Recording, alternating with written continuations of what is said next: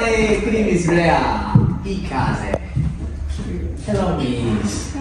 What's up? Hatikumya. Umwaka wa cyongereza. Eh, natsinzwe harabura inshuro imwe yonyine kugira ngo iyo nkombe navamo hanyuma yari afite inshuro zose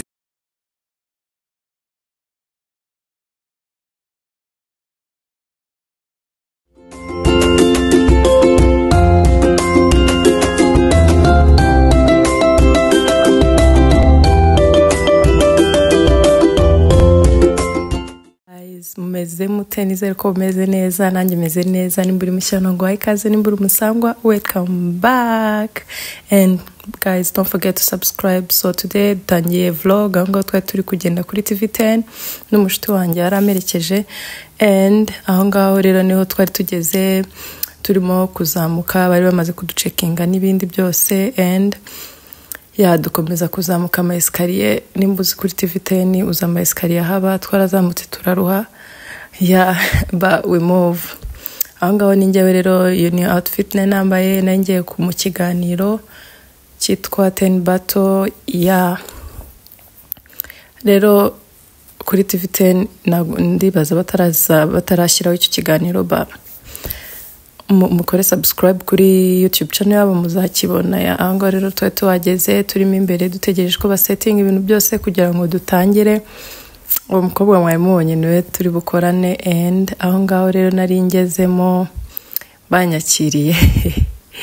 Banyakiriye tugiye gutangira ikiganiro and yawo ni tycoon. Tycoon akora kuri tv 10 ya ni we twagomba gukorana ikiganiro hamwe n'undi mukobwa ko iki kiganiro bagikora ari babiri.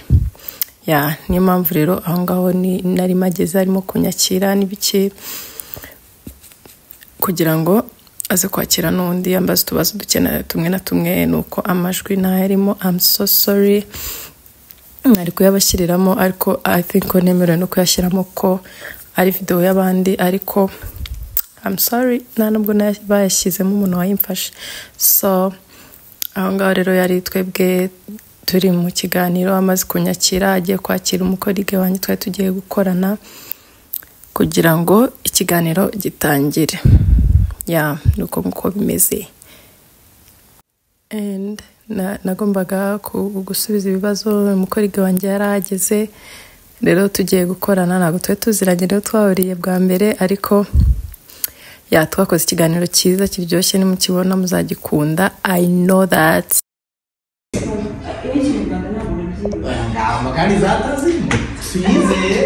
Ntabwo kandi zatazimo tuyizeye tuyambaze okay ati biranga so tugiye kujya kwa Miss Rhea again. Miss Rhea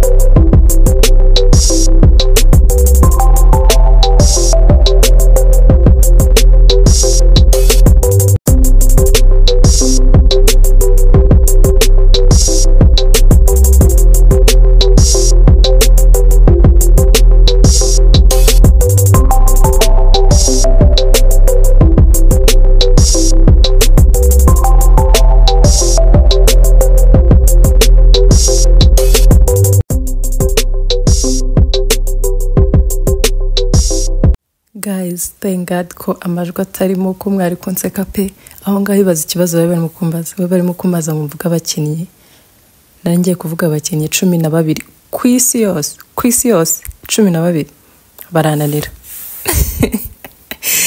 Ariko impamvu bananiye ni uko bavuga mu masegonda mirongo itatu. Ibaza amasegonda mirongo itatu gutekereza amazina mi- cumi n'abiri y'abakinnyi. Umva byarananiye na yo ndiseka baranseka numva birandenze. Ariko muzambarire mugende mubirebe biba kuri tv 10 youtube channel yabo iriho iri, iri yitwa 10 to 10 so aho ngaho rero umukobwa yari avuyemo nari mukuyemo.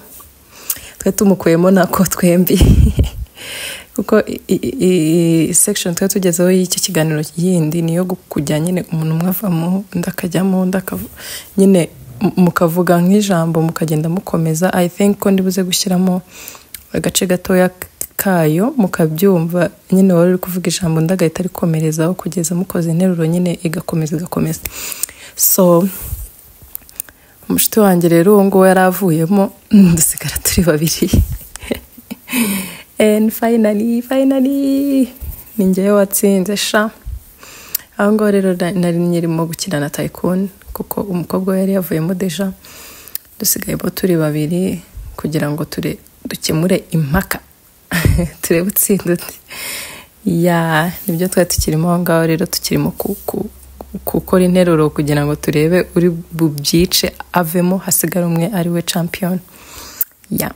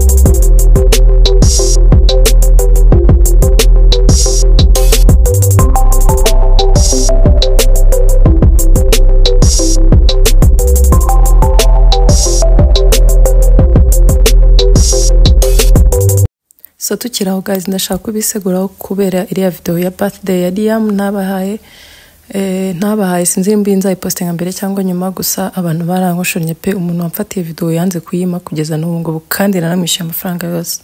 I don't know what to do. Ba sinzi nimba azaba yarayimpaye mbere yo gupostinga video cyangwa azaba atarayima nka nkapfa gupostinga iyi ngiyi I don't know ariko I don't know what to do. Yanyimye video yanjye kandi namuhaye amafaranga yose. Aba mbeshya ibintu bitandukanye kandi nkumva ko ari kumbeshya ngo afite ngo ngo ararwaye yangiza agapostinga amavideo y'abandi bantu yakoze. Abantu batari professional nzabahereza isitori yarambabaje kuva uyu mwaka utangiye ni ubwa mbere nababaye. Kandi abantu bambabaje ntabwo nari nzi ko ari bo bambabaza muri ubu buzima. Ya nzayibahereza na yo nyuma. Muntu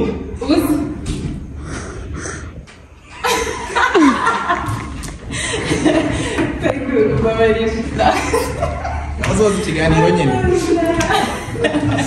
azoza ikiganiro mwakoze cyane kudukurikira yari njyewe rero n'umuntu twacalenjinganye ibya mbere ntabwo nabishoboye neza ariko I'm the winner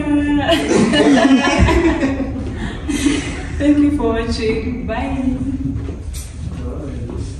so guys aho ngaho twari tuvuyeyo rero tutashye. Kuko hari indi gahunda twari dufite nyuma y'ibyo ngibyo ya twari dutashye n'umushuti wanjye ngenda mfata udusinapu sorry ko nta yindi video nari mfite muri dutaha niyo mpamvu nayifashe kuriya. So aho ngaho twari twageze mu rugo rero hanyuma njya guhindura imyenda kugira ngo njye mu tundi dukurse nyine nari mfite n'abasisitazi banjye hari ahantu twagombaga kujya kureba ibintu by'ibitanda ni ni n'intebe n'ibiki byose byose byose byose kuko umusisita wanjye yabonye akazi n'ahaso agiye kwimukira inaha endi turaturanye. Mana we I'm so excited. Turaturanye ubu ngubu nturanye n'umusisita wanjye. Iruhande hejuru yanjye naho hari umukazi wanjye. Mana we ubu ngubu ni amafamiye famiye turi hamwe. So aho ngaho rero nari kuri bike tugiye kureba ibyo bintu by'intebe n'ibiki ntago nari twari tuzi ahantu tugiye kureba ibitanda bindi byo mu bindi byumba ko byo ntabwo twabikoresheje. Twari twashakaga gufata nyine kugira ahantu bikoze tugaterura. So aho ngaho rero ni ho twari tugiye twari tugiye mu gacinjiro of course twafashe utubayike ya ni ho twari turimo kujya. N'abandi bari ku yandi mamoto. Muraza kubabona nitugerayo ni ho turi kugenda rero mu gacinjiro kureba ibyo bitanda kugira ngo duhite tubifata dukomeze no gufata ibindi bintu ahandi nyine. Tujye kurebayo ibitanda na na matera zabyo. Ya.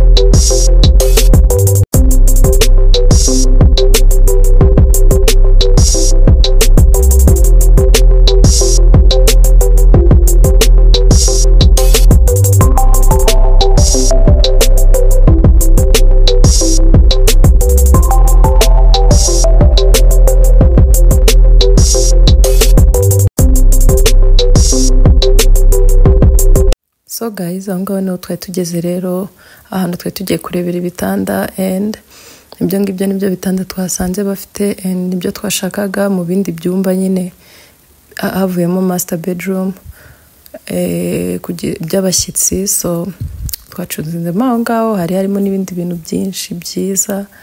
Manange urahagera ugahita uvuga uti se naguze ibintu ndeba he?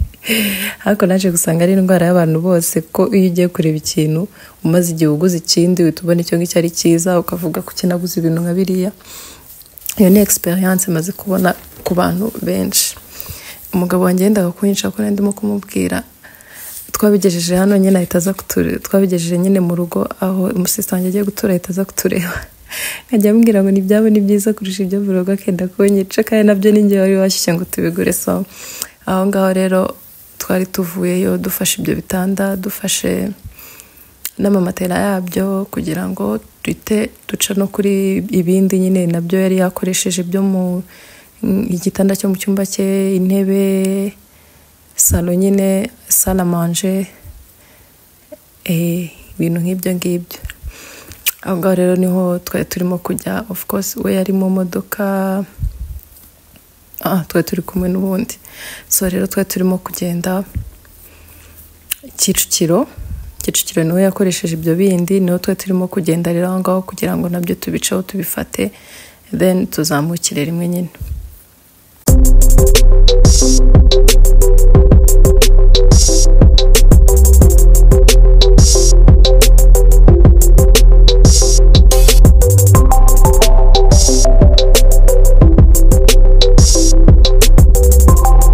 so guys aho ngaho twe tuhageze rero murabona izo nizo ntebe yakoresheje iyo ngiyo ni imwe n'izindi ziri ku ruhande iyo ni imeza ubu ni umusisita wanjye na yo twari twajyanye iyo niyo misego yakoresheje na yo.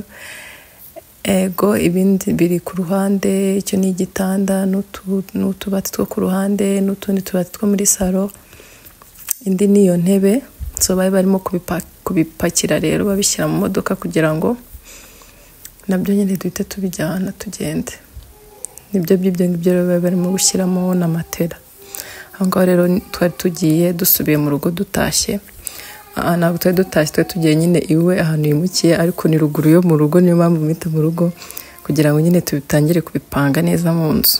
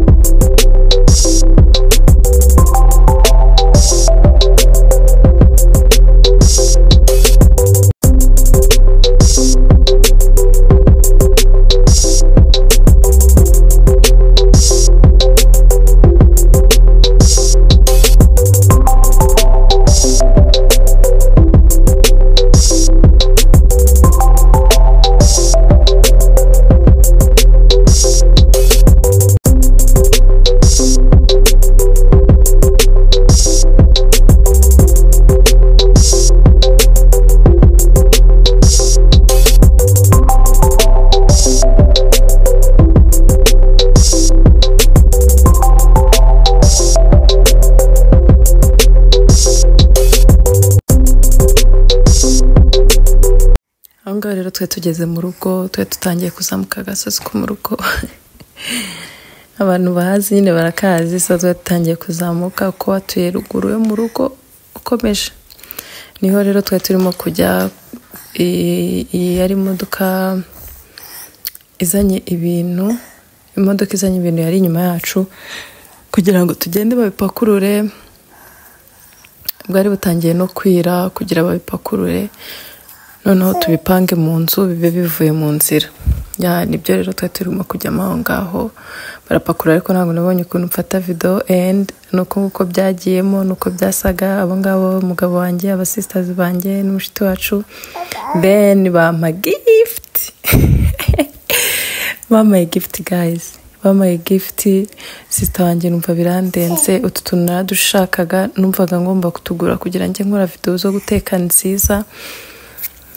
Ni udusirimu naradushakaga cyane pe. Naradushakaga cyane nawe yari abizi ko ndushaka so yaragiye aratungurira.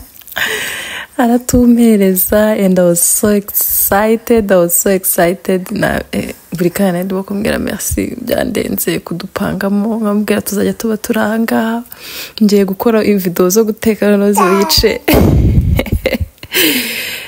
ya byari byandenze guys. Byari byandenze. Utuntu naradushakaga pe. Buri munsi navugaga ninjya mu mujyi nzagura turiya tuntu ninjya mu mujyi. Ngomba kutugura. Rero arangije atubona ahantu ahita atungurira. Kuko yari yagiye gushaka ibyombo ntabwo ho twajyanye. So ya utwo ngutwo nitwo rero nari ndimo gupangamo neza ni twiza mana yanjye byari byandenze. Ndimo kutureba buri kanya. yeah i was so excited as you can see. So this is next day. Ni umunsi ukurikiyeho twari tugiye gupanga ibyombo noneho mu kabati. Deep cleaning kabisa. Ariko ntabwo ibintu byose nabifashe. Aha ngaha rero ni umusisita wanjye arimo koza ibirahure kugira ngo tubishyiremo bisa neza. Yam uwo nguwo ni njye rero na riyamu twari turimo twari tugiye gusasa muri icyo cyumba. Niyo mpamvu twari tumeze bityo turimo no gushaka gushyiramo muri garderobe imyenda. Ya that's it guys. Bye.